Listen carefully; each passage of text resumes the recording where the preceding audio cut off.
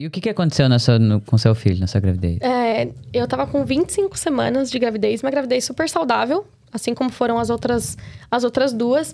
E aí, com 25 semanas de gravidez, eu tive um sangramento. Um sangramento que me assustou. Eu já tinha tido duas gestações, então eu, eu sabia o que era normal, né, teoricamente, e o que não era.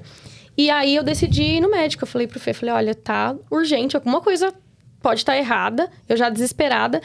E vou até o médico. Quando cheguei no médico, a, médica já falou: vai direto para emergência, porque algo aconteceu. Cheguei na emergência, falaram: é, sua bolsa rompeu, você está perdendo líquido amniótico e a gente vai te segurar aqui, porque o bebê pode nascer a qualquer momento, a gente vai ter que tirar, talvez, o bebê, ou continuar monitorando. Só que, para você entender, com 25 semanas, bebê pititico assim, vai ter que respirar por máquinas. E começaram a me bombardear, só pra, pra ser breve, eles começaram a me bombardear Porque não precisa ser breve, Com- não, viu? A gente com- tem tempo É. com suficiente. informações horríveis que nenhuma Ai, mãe que horror. cara. gostaria de ouvir. E eu desesperada pra dar notícia pra ele. Era época de pandemia, então a fronteira tava fechada, não ia minha mãe poder vir ficar comigo, Uhum. ninguém ia poder me ajudar. E eu também não ia poder ficar com as minhas filhas, que elas estariam em casa, eu ia ficar internada sozinha. Eu não podia nem Até ter acompanhante. Eu não podia nem ter acompanhante, Não fiquei sozinha no hospital. Meu. E aí me levaram pra fazer ultrassom, me Nossa, levaram pra fazer um outro exame, me levaram pra fazer um exame de toque. E eles controlavam, é, sei lá, de hora em hora se eu tava perdendo mais líquido, o que, que tava acontecendo. Eu tomei algumas injeções pra ajudar no amadurecimento do pulmão do bebê. Eu pensava, gente, Quantas semanas mesmo? 25. 25, O bebê cara. acho que tinha um quilo, um quilo e meio, É quantos nem meses? isso. 25. 25 são seis meses, né? É, e isso, nossa, desabou nosso mundo, assim. Eu falei, Fê, você vai ter que dar conta das meninas em casa. Não vai ter jeito, vamos ver as coisas que se resolvem aqui. Beleza, dormi no hospital, no dia seguinte faz um monte de exame, vai controlando como tá. E de hora em hora, médicos entrando pra falar, médicos da, da área de prematuros, né? Entrando pra falar, olha, você sabe, né? Que me conscientizando de como que o bebê poderia vir, se ele ia sobreviver ou não. Era chances, era 50% de chance. Vamos tentar segurar o seu bebê até 32 semanas, então você vai ficar internada aqui por mais pelo menos 7 semanas. e eu já, assim, além de pensar, lógico, não passava muito na minha cabeça, mas na conta do hospital, também pensava como vai ser com o Fê em casa com as duas meninas Sete semanas. sozinho, tendo que trabalhar, como que a gente vai trabalhar, como que vai ser, né? E eu, teoricamente, estou me sentindo bem. Por que que isso aconteceu? O que que aconteceu? Fiquei mais um dia no hospital, minha mãe e meu pai desesperados lá no Brasil, meus sogros também, que a gente não estava entendendo por que isso aconteceu, uma gravidez tão saudável. E aí, nesse dia também, é, durante a madrugada, eu entrei numa, numa vigília que estava acontecendo no Instagram de um, de um pastor que eu gosto. E também fiquei orando a madrugada inteira para Deus me curar, para por que, que aquilo estava acontecendo comigo. Eu queria entender o porquê e tudo mais, enfim. No outro dia de manhã, já era o terceiro dia que eu estava no hospital, entrou uma assistente social, depois de entrar um, um médico de prematuro, e perguntou para mim: Olha, eu tô aqui para tentar te acalmar. E eu quero entender o que, que eu posso fazer por você. Porque eu sei que você tá desesperada, né? Talvez seu filho vai nascer prematuro e tudo mais. Me fala, o que, que eu posso fazer para te acalmar? É, Aí eu falei: olha, eu sei que minhas filhas não podem vir aqui pro hospital e nem meu marido. Quero que você traga minha mãe do Brasil. Eu sei que a fronteira tá fechada. O que eu quero? Eu quero minha mãe aqui comigo. Minha mãe para cuidar das minhas meninas. Ela falou: eu vou dar um jeito. Aí fez uma prescrição do hospital e também da minha médica para imigração, para conseguirem uma mano. autorização para minha mãe vir.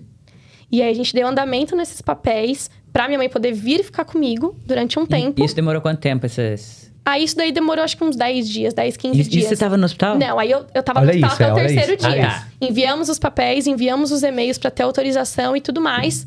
Quando chegou nesse mesmo dia, no período da tarde, chegaram uns, um resultado de exames meu e o médico falou para mim: Você pode ir embora, tá? Você tá indo alta.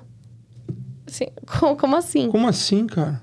Pode ir embora, você não, não tem mais nada. A gente refez os últimos exames, não tem bolsa estourada, não tem Esquisito, né? tudo que tava rompido não tem, você não tá perdendo líquido, sua gravidez tá saudável, pode ir embora. Aí eu liguei pro Fê e falei, acabei de ter alta. Vocês vão me dar alta, tipo, 8, 9 da noite.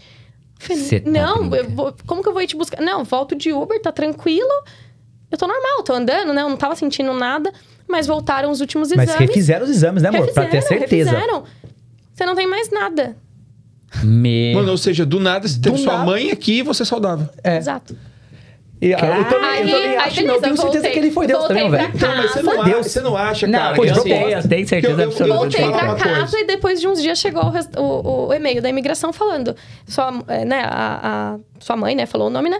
Tá autorizada a entrar, é só imprimir essa carta e comprar passageiro e vir. A gente até zoava. Minha mãe comprou pro, pro, pra Ah. semana seguinte. Vou ficar aí com você, que eu não sei o que vai acontecer no resto da É, gravidez. cara, Já vou minha- agora. A minha, saber a minha sogra veio e perguntou, como você conseguiu entrar? Minha sogra, eu tenho um green card. Eu só eu tenho um green card. Porque você tava com green card, mas ela não, não tinha green card. Lógico que não, mas muito foi algo cara, que... muito legal. Então acho que a Veio gente... no avião praticamente sozinho, Pô, porque ninguém tava acho? entrando O que acontece, cara, é que quem se conecta mais parece que é tirado uma, uma- alguma coisa da frente dos olhos, assim. Exato. Porque, tipo, você podia contar essa mesma história sem falar o nome de Deus. É.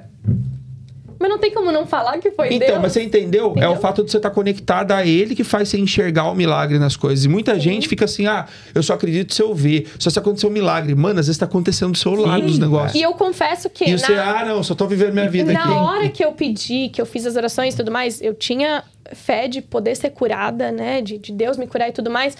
Mas depois que minha mãe estava aqui, eu estava com a gravidez 100% saudável, eu pensei, gente, era pra ela vir. Tudo aconteceu, eu não entendia na- naquele meu desespero, no choro, no jeito que o Fê se emocionou, a preocupação que meus pais ficaram no Brasil e meus sogros. Aquele momento de dor a gente tinha que passar, porque era pra minha mãe poder vir, porque ninguém podia entrar aqui. É. Sim. E eu- a gente ia ter que cuidar de três filhos sozinhos, sendo que nas outras gestações a minha mãe sempre esteve comigo. Eu E tinha aí a sua criança mãe e minha ficou mãe até o estava. final. Sim. Minha mãe ficou.